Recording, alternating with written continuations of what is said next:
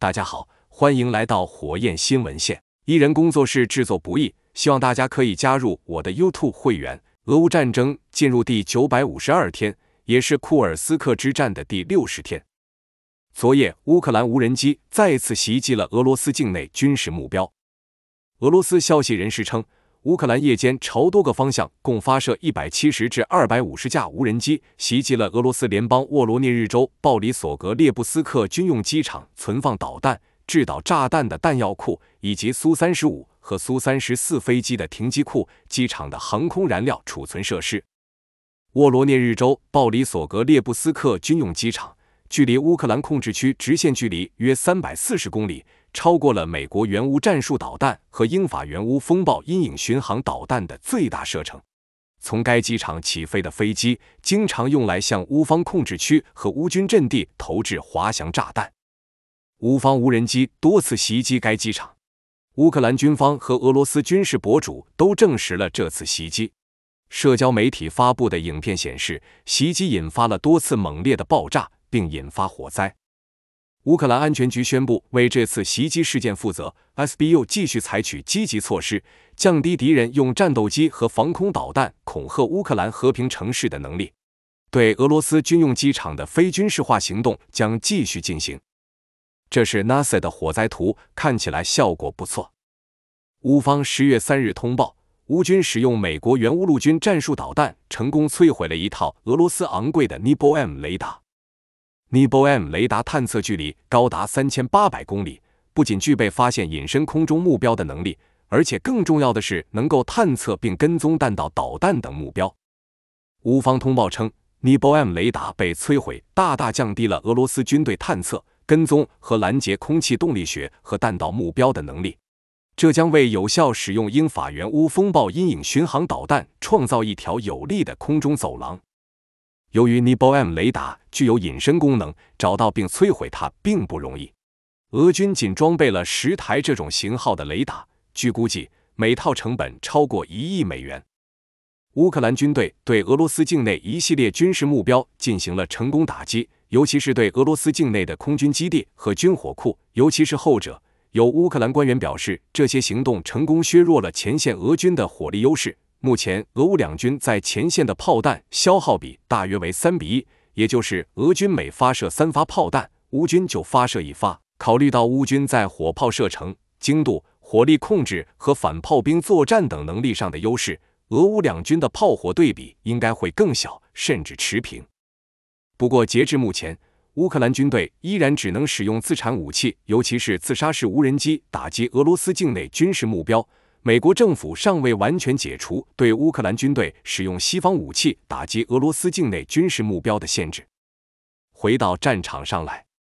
恰索夫亚尔方向北翼俄军的所有进攻都被击退。过去一段时间，乌军的 FPV 和侦察无人机始终保持全天候的工作。不过，俄罗斯人以任何的计划，在缺乏装甲支援的俄军在田野上损失惨重。库拉西夫方向，俄军的又一次摩托化进攻被挫败，现场一片狼藉。红军村方向，俄罗斯军队继续向前推进，并在 Ostrivky 附近被发现。乌克兰军队很可能已经撤到沃夫查河后面建立新的防御工事了。热兰内、佩尔什东部是否仍有乌克兰军队，是一个很大的问号。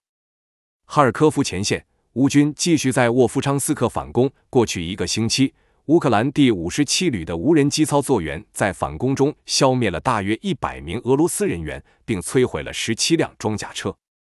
根据最新消息，由于前线俄军缺乏斗志，车臣阿赫马特部队已作为督战队重返哈尔科夫前线。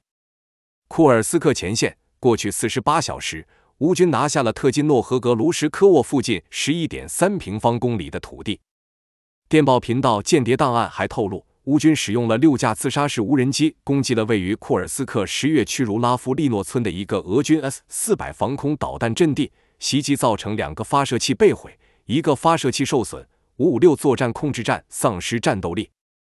值得一提的是，俄军昨天把自己在切尔卡斯科耶波列奇诺耶定居点的硝酸铵仓库给炸了，估计是准头太差，剧烈爆炸形成了壮观的橙色蘑菇云。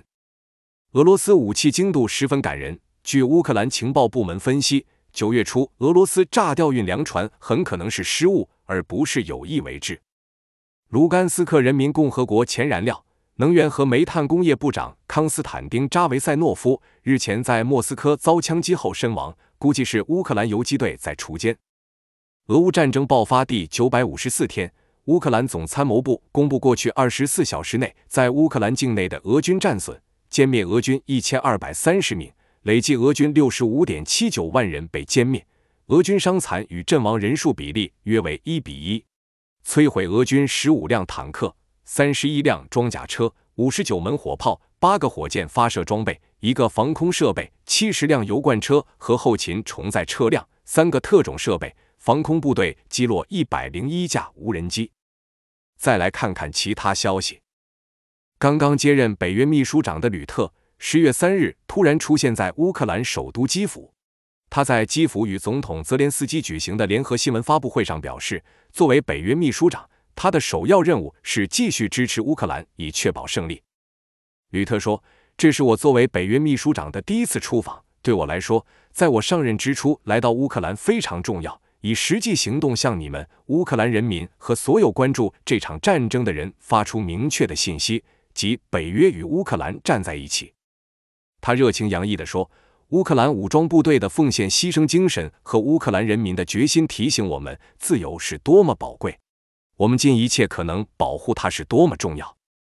吕特称，北约的全面援助计划、指挥中心的建立、培训、财政承诺以及与成员国的双边安全协议，这些决定意味着乌克兰日益强大，与北约的互操作性越来越强，并为加入北约做好了更充分的准备。乌克兰比以往任何时候都更接近北约，并将继续走这条路，直到您成为我们联盟的成员。我非常期待那一天的到来。泽连斯基在记者会上解释了乌军撤离武赫勒达尔是为了挽救战士的生命。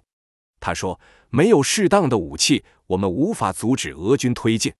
当他们摧毁我们士兵的阵地时，我们必须保护他们的生命，因为他们比任何建筑物都重要。”他们是我们的人，他们是乌克兰的公民，因此他们退出并可以自救是正确的。为了国家，为了他们的英勇服务，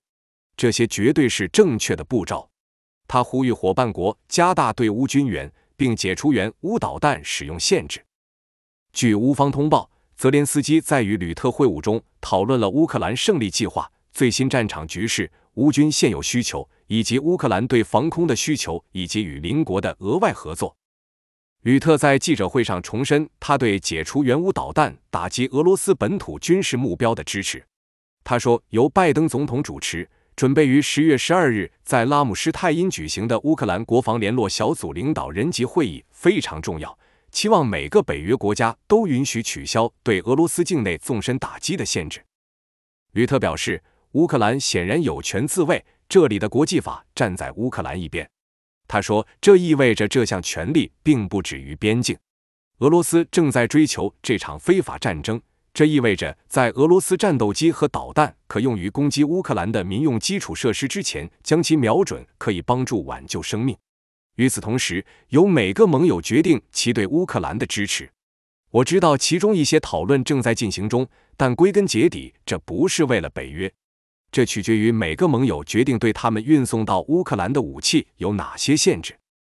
针对俄罗斯媒体炒作库尔斯克核电站受到乌军导弹和无人机袭击，十月三日，乌方严正辟谣称，媒体相关报道是彻头彻尾的假新闻。乌方从不攻击平民和民用设施。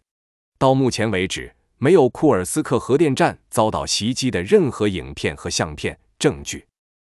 自特别军事行动开始后。俄罗斯军队在不断扩大规模，考虑到俄罗斯军工业目前几乎产能已经达到极限，甚至在西方制裁下产能有可能下降。俄罗斯境内多个军火库被乌军打爆等缘故，分析人士认为，俄罗斯要想将这场战争继续下去，唯一的选择就是跟历史上一样，依靠兵力优势和对伤亡的更大容忍度。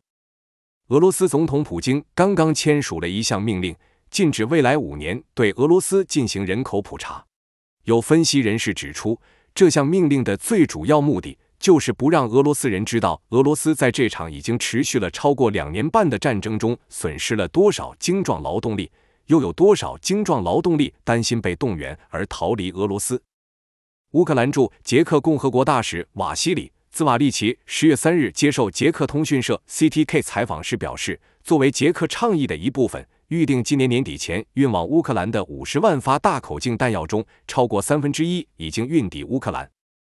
大使赞扬了捷克发起的炮弹联盟，不但直接从国际军火市场为乌克兰采购炮弹，还计划投资于乌克兰境内军工企业，扩大一百五十五毫米的北约制式炮弹生产。在对乌军援方面，今天还有一个重要消息，罗马尼亚国防部发言人康斯坦丁·斯皮努十月三日表示，罗马尼亚捐赠的爱国者防空系统已抵达乌克兰，正开始保卫乌克兰领空安全。在西方阵营大力支持下，乌军各方面的能力都在快速增长，这是确定无疑的。现在只需要找到消除俄军战机向乌军投掷滑翔炸弹的有效办法。俄乌在战场上的力量对比将发生由量变到质变的逆转，我相信这一天很快就会到来。乌克兰军情局局长布达诺夫中将十月三日在接受媒体采访时，指责西方国家半导体公司没有做出足够的努力来控制他们的供应链，导致大量半导体元件通过非法渠道流入俄罗斯。他说，在击落的俄罗斯2022年以后生产的导弹和无人机中，发现了二十多家西方公司制造的电子元件。这些公司包括美国著名的德州仪器公司 ADI 公司、德国英飞凌科技公司等。美国芯片公司使用授权分销商，而这些分销商又向世界各地的电子产品供应商销售产品。美国政府和欧盟虽然制裁了许多非法向俄罗斯出口半导体的分销商。但未能阻止这些关键电子元件源源不断流入俄罗斯。尽管乌方所说的是事实，但由于半导体广泛使用于各种民用产品，很难做到完全断绝非法走私。客观的讲，由于西方严厉制裁，俄罗斯的导弹和高性能无人机生产能力确实受到了很大限制。乌克兰外交部长西比哈十月三日与美国国务卿布林肯通电话，西比哈在一份声明中说。作为我们定期对话的一部分，与美国国务卿布林肯进行了富有成效的通话，以跟进乌克兰总统泽连斯基访美达成的共识，并协调进一步的步骤。这将导致历史性的决定，并使我们的胜利更进一步。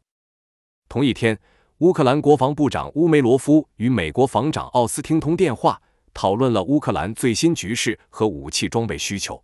五角大楼发言人辛格称。奥斯汀部长今天与乌克兰国防部长乌梅罗夫通了电话，他们讨论了当前敌对行动的动态和对乌克兰安全援助的优先事项。乌梅罗夫部长还提供了乌克兰方面行动、战场局势和对额外能力的需求的最新情况。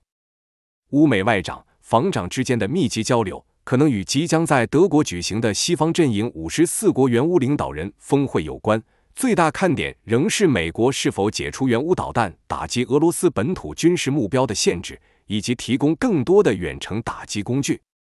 明镜周刊》报道称，一旦西方解除限制，乌克兰军队将有能力攻击俄罗斯境内的二百六十一个重要军事设施，包括军事基地和大型军火库。但最佳时机已经错过。俄罗斯空天军已经将苏三十四前线轰炸机撤离到了西方导弹射程之外的空军基地。乌军对苏三十四投掷的滑翔制导炸弹几乎无能为力。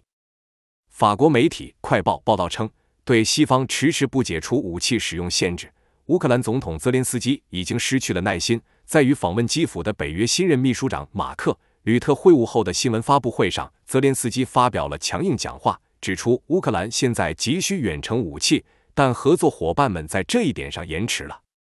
而且合作伙伴们还没有准备好击落飞向乌克兰邻国的俄罗斯导弹和自杀式无人机，共同击落伊朗导弹与击落俄罗斯导弹，击落结合了俄罗斯和伊朗政权的伊朗沙赫德无人机并无不同。泽连斯基呼吁合作伙伴们展现更大的决心。媒体援引五角大楼内部的消息称。西方不愿在乌克兰上空摧毁俄罗斯导弹和自杀式无人机，这会被克里姆林宫视为美国等国直接卷入战争。华盛顿认为基辅有能力自行防御，不需要直接军事介入。今天的分享就到这里，可以的话，希望你可以帮我点赞订阅，有什么意见都可以留言分享。谢谢你的收看，明天和大家再见。